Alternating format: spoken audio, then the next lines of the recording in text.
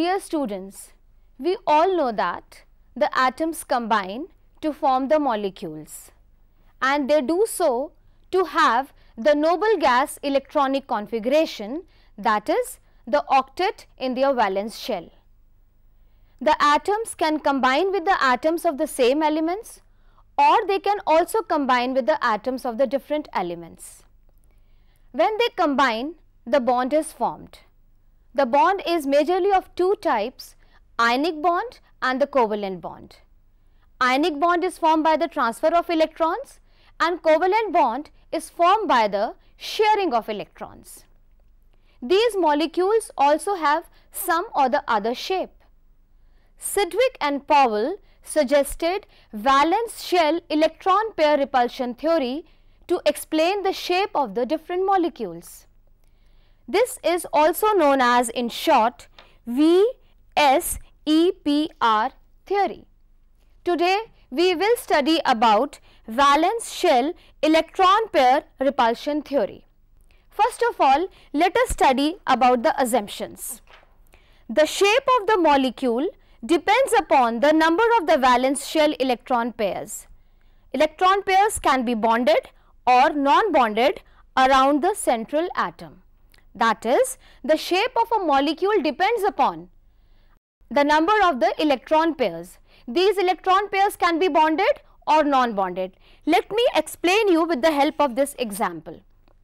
In the case of ammonia, the bond between the N and H is known as the bonded pair. But you can see an electron pair over this nitrogen. This electron pair which is not participating in any type of bond formation is known as the lone pair. Now, the total number of these electron pairs will decide the shape of the molecules which we will study by taking different examples. The pairs of the electrons in the valence shell, they repel one another since their electron clouds are negatively charged. That is, there is a repulsion between all these electron pairs. These pairs of electrons tend to occupy such positions in the space that minimize repulsions and thus maximize distance between them. The tendency is to enter into the most stable position that is the minimum repulsion and thus the maximum distances. Now, there are three types of repulsions and the repulsive interactions decreases in the order lone pair lone pair repulsions, lone pair bond pair repulsions and bond pair bond pair repulsions. Now, from here we can see that the lone pair lone pair repulsions are strongest or greater than the lone pair and bond pair repulsion which in turn is greater than bond pair bond pair repulsion. Repulsions between the electron pairs results in the deviations from the idealized shapes and alterations in the bond angle. Again we will see the distortions in the idealized shapes and the alterations in the bond examples. Molecules can be divided into two categories. Molecules in which the central atom has no lone pair and the second category is the molecules in which the central atom has one or more lone pairs. The central atom which has no lone pair will be having the ideal shape.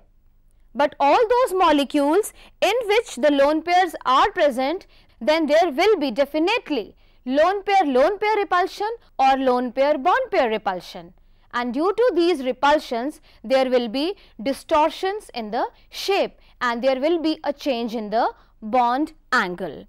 Now, I am explaining you the VSEPR theory via various examples. First of all, the simplest example, the shape of a molecule containing two electron pair and the shape will be linear. There will be two regions of electron density and the maximum distance the two regions of the electron density can get away from affords a geometry called linear. Now, this is the beryllium chloride molecule. The black ball is beryllium and the green balls are the two chlorine atoms. Now we can see that this is the covalent bond and there are two electron densities. Just to have the minimum repulsion, now they take the shape of a linear molecule and the angle between these two chlorine atom is 180 degrees. This is a linear molecule and there is only one possibility. This is the shape you can see, the linear shape. Now, the next example for molecules containing 3 or more atoms, one of the atom is called the central atom to which other atoms are linked. Now, the next example, 3 regions of electron density. The maximum distance 3 regions of electron density can get away from affords a geometry called trigonal planar. This is an example of a planar trigonal molecule BF3. This black atom is the boron and these three green are the fluorine atoms. Now all are bonded pairs you can very well see and to have the minimum repulsion they take the shape of a planar trigonal. If in the second case if there is a lone pair and there are only two bonded pairs. In total we can see that there are three electron pairs out of which two are bonded pairs but one is a lone pair which is shown by this blue dumbbell. Now you can see this is an example of SO2 sulfur dioxide and there will be a bit distortion and the angle will be reduced from 120 degrees to 119 degrees. In this ideal shape, the angle was 120 degrees, but in this molecule, due to lone pair bond pair repulsion, now the angle is reduced from 120 degrees to 119 degrees. This is a sulfur dioxide molecule.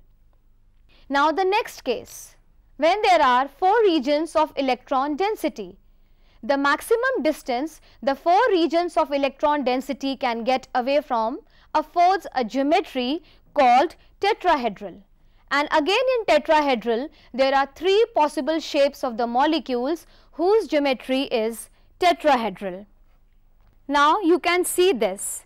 This is an ideal tetrahedral. This is a molecule of methane CH4 this black dot is carbon and these are 4 hydrogens. Now you can see this, this is a tetrahedral shape and the angle here is 109.5 degrees. Now the second possibility in the tetrahedral case is that out of 4 electron pairs, there are 3 bonded pairs but there is one lone pair shown by the blue dumbbell. Now, due to this lone pair of electron, there will be bond pair lone pair repulsion. This is ammonia molecule. In ammonia molecule NH3, the blue light blue dot is the light blue atom is nitrogen and these white atoms are hydrogen. And on this atom of nitrogen, there is a lone pair of electron. Now there will be a repulsion and when there is a repulsion, there is the distortion in the space and the molecule is distorted from the regular tetrahedron. Now the angle from this 109.5 degrees is reduced to 107 degrees in ammonia molecule. The second situation is when there are two lone pairs out of 4 molecules, there are 2 bonded pairs and 2 lone pairs. Now, there are two types of repulsions here again, the lone pair lone pair repulsion and lone pair bond pair repulsion. Due to these repulsions, the tetrahedral shape is further distorted and the angle is reduced to 104 degrees and the shape is known as bend shape. This is regular tetrahedron angle 109.5 degrees.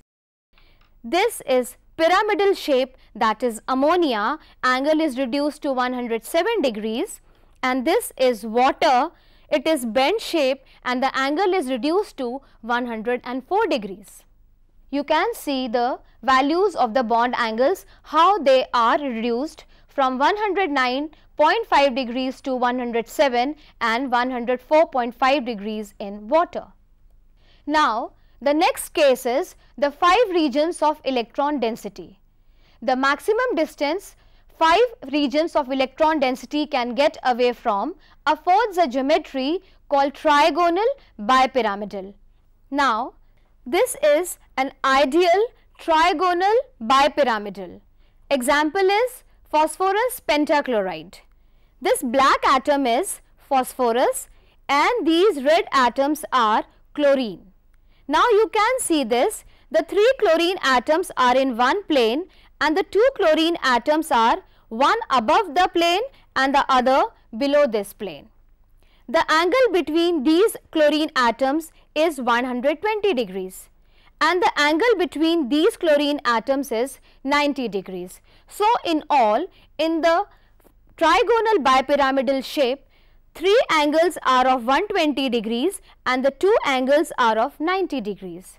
These bonds are known as equatorial bonds and these bonds are known as axial bonds. This is ideal trigonal bipyramidal shape. Now, the further possibilities in these shapes are the first case, this is a molecule of SF4. Here you can see that there are 4 bonded pairs, but there is one lone pair. It has occupied the equatorial position. This is known as seesaw shaped and there is a distortion. It is not known as trigonal pyramidal, but it is known as seesaw shape. Now, let me show you why seesaw shape.